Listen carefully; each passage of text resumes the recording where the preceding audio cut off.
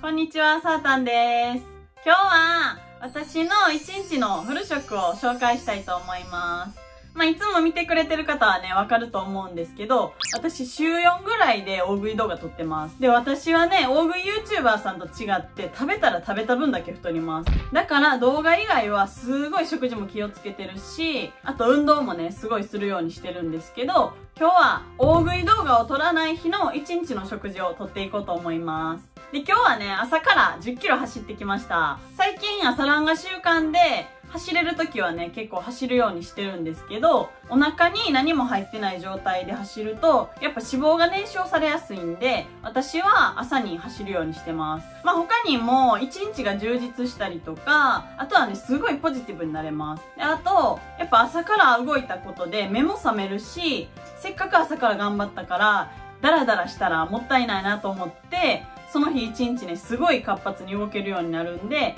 朝ランをね、本当におすすめします。で、ご飯食べる前に朝ランをしたら、まずね、いつも食べるものがあって、それが、これ、オイコスをね、2個食べます。これはこの間のコストコのね、購入品動画でも紹介したんですけど、オイコスのね、無糖のやつです。で、ちょっとね、もうね、今日食べたんですよ、実は。本当は朝食べるとき取ろうと思ったんですけど、ちょっと化粧してないし、汗びっちゃびちゃやし、ちょ、ほんまにひどかったんで、今日はね、さっき食べちゃいました。まあ、これの食べ方なんですけど、私は、これに、このグラノーラをね、ちょっと入れて、で、この生蜂蜜を一緒に食べます。で、このグラノーラはオート麦、まあオートミールと一緒ですね。で、砂糖とか変な油が使われてないんですよ。で、無添加ですごいいいなと思って、最近ね、これすごいハマって食べてます。これもインスタ見てる方はね、知ってると思うんですけど、私がハマってる生蜂蜜です。で、生蜂蜜は何がいいかって、加熱処理されてないんですよ。だからお店とかで売ってる蜂蜜よりかは栄養価がすごい残ってます。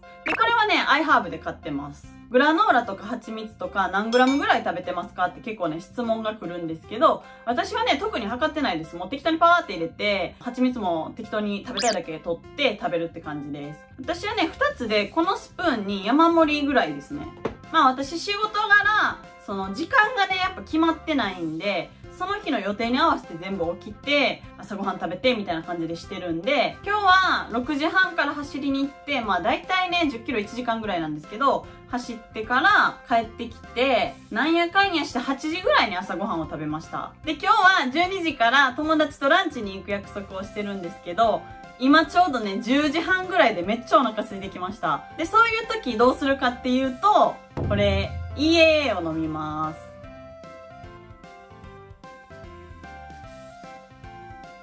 これはね、トレーニング中とかに飲むものなんですけど、私は、そのお腹空いた時も結構飲んでます。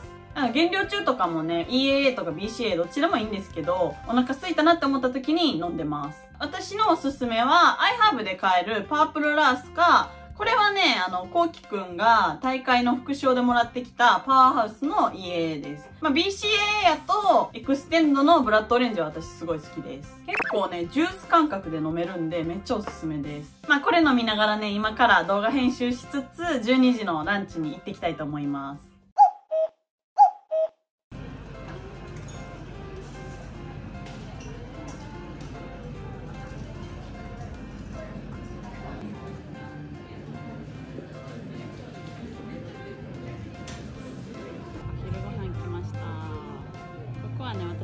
ちゃよく行く店なんですけどサラダとかデリとかを選べるお店です。で今日はサラダと卵とチキンとちょっと雑穀と酒が入ってるデリにしました。結構ねやっぱタンパク質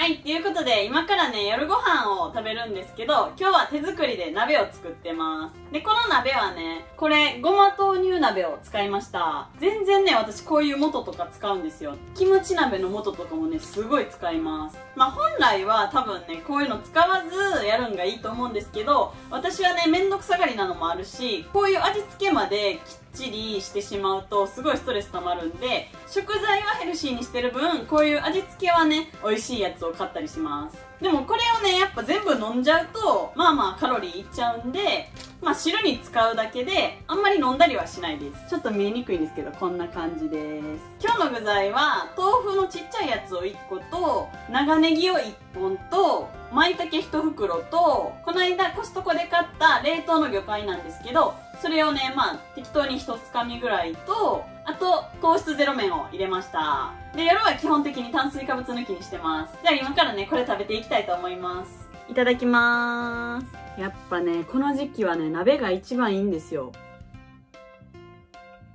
うん。このね、ごま豆乳がめっちゃ美味しい。最近のね、私のハマりです。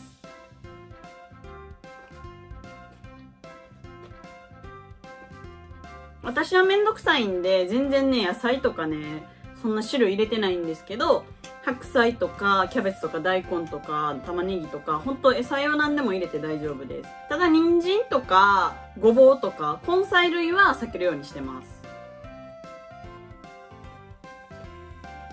やっぱ鍋は簡単で、野菜もたくさん取れて、タンパク質も取れるんで、すごいいいと思います。まあ、ちゃんとね、やっぱタンパク質は取らないとダメなんで、豆腐とか海鮮入れたりとか、魚入れたりとか、全然鶏肉とかお肉でも大丈夫です。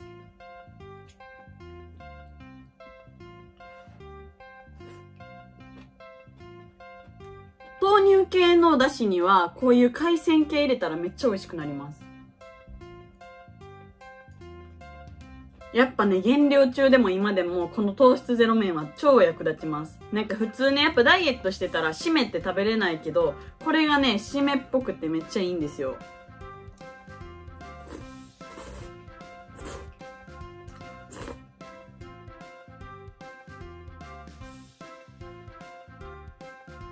っていうことで今日は私の大食いしない日のフル食を取ったんですけど、どうだったでしょうか？まあ今日はね、トレーニングオフやったんで、ちょっと3食しか食べてないんですけど、まあ筋トレ行ったりとか、お腹空いたりしたらもう1食食べるんですけど、今日はあんまりお腹が空かなかったんで、3食にしました。筋トレ始めてから前までは結構こまめに取ったりとか、食べな食べなみたいな感じで無駄に食べてたんですけど、今はお腹が空かなかったらわざわざ食べないです。だから、まあ、今日も3食やったんですけど、絶対4食食べなあかんっていうルールは作ってないです。まあ、今回はね、すごい少ないんで、あんまり、その参考になるかって言われたら参考になるかわかんないんですけど、まあ、もし食べ過ぎたなっていう日があれば、次の日にこんな感じの食生活をすれば、調整はできると思います。爆食いしちゃう時ってあると思うんですよ、誰でも。特にこのチャンネルを見てくれてる方は食べることがすごい好きな方が多いと思うんですけど、もし1日爆食いしちゃったとしても、1日では脂肪にならないんで、